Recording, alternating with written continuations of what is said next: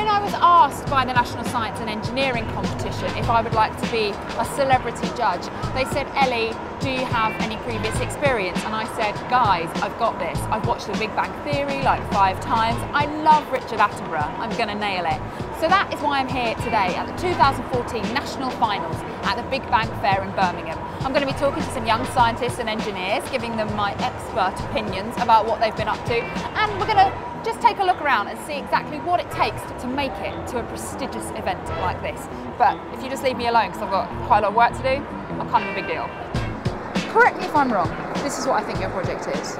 It's an elaborate place that ants can come to just have a wander around.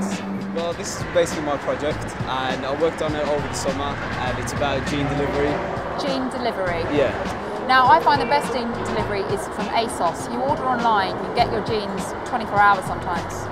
Uh, How uh, quick can you deliver genes? Uh, not those kinds of genes. Uh, This is my team. Some results.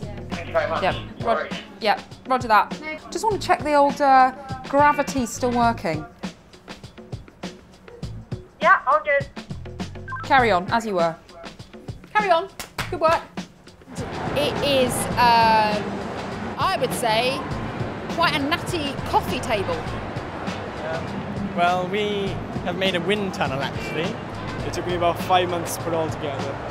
Five months. Yeah, something like that. You must have been really late for football. Yeah. That's called a helix. yeah. double helix, double helix. Um, and that is a graph. Yeah, it's. Um, What would it mean to win? It mean quite a lot to me because of the saying that it's my third or fourth year training of Big Bang and I've failed every time. So this is the furthest I got now and kind of going all the way kind of mean quite a lot to me. What's my favourite area of science? Um, Professor Brian Cox. What do you think you're doing? Uh, judging. You're not meant to be a judge. Well, you were actually asked to present the awards.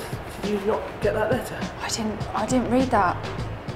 I was busy, you know, doing science stuff like turning on a light.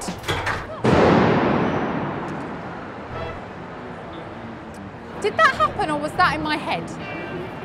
It's made out of bacteria, tea, and sugar. I did actually just touch it. Does anyone have an anti-bac wipe? What's that? So I'm not a judge, No. No. but you do, to do the awards still? Yeah.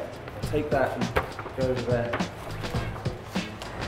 So apparently I'm not actually here to be a judge because NSEC judges need like basic scientific knowledge, yada yada boring. Anyway, my job is to be here today to show you what it takes to be an NSEC finalist in the hope that some of you guys will be here next year. Tomorrow some of the finalists are going to the celebrity judging section of the competition.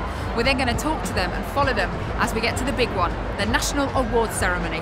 We'll see you then. On your mark. Go! Oh my god, ridiculous! Well, I hate cheating. Right there.